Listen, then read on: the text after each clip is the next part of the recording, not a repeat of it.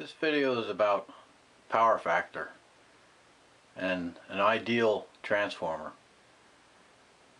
According to mainstream science, an ideal transformer is one that has no losses and it's able to attain a power factor of 1.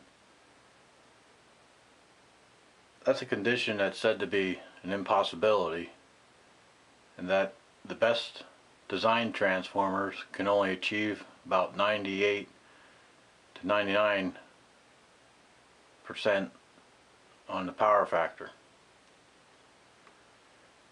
So here I have a transformer that I used in a few of my other videos and it's a steel laminated core transformer.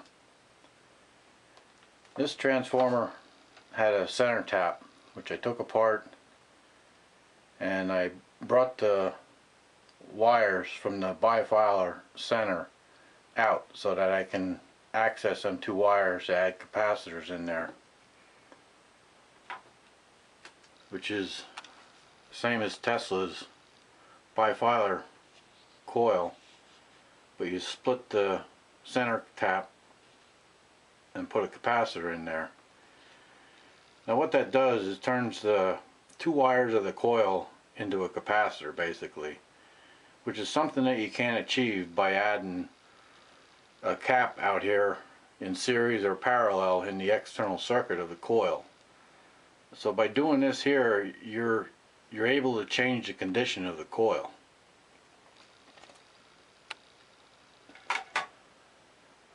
So what I have going on here is right now I have the the cap shorted so they're not really in the circuit at the moment and I have two incandescent bulbs here that I'm driving from the transformer. And we're going to look at the power factor on this watt meter. And we're going to see if we can attain a power factor of 1 I'll get this to power factor. And right now we have a 0.95 power factor I'm going to disconnect this so we have the caps in the circuit and we got a power factor of 1. Now I have these capacitors here are uh, non-polar caps and I have a total of 1880 microfarads.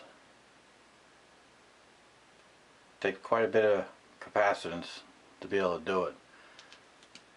Now the other thing with this is these bulbs are pretty much a fixed load. If your load changes, your capacitance value is going to also change to be able to get the power factor 1.